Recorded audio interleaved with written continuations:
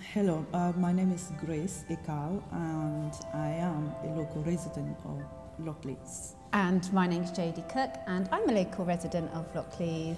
Yes, we're here to talk about um, a community project called How Do We Get Here?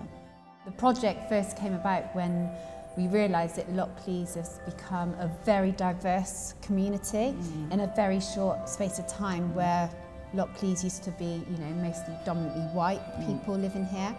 And it's amazing that now we've got all these different cultures moving into our area. And we were thinking about how can we bring all these different communities together. together. And this is when we came up with the Story Project. Mm. And we want to collect lots of stories from everyone in Lockleaze. Mm. Doesn't matter if you've lived here 80 years or if you're very new to the area. Yeah.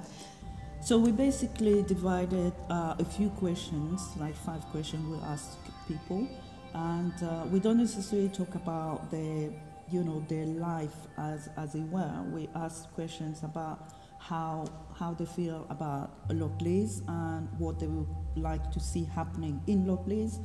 And it's interesting to see that people go deep into uh, the first time they came to Lockleaze or some of them were born here and there's amazing historical um, story of Lockleaze that we're trying to highlight and feature in our project. Part of the project, yeah. uh, we have a story van that will be going around all the streets in Lockleaze. Mm.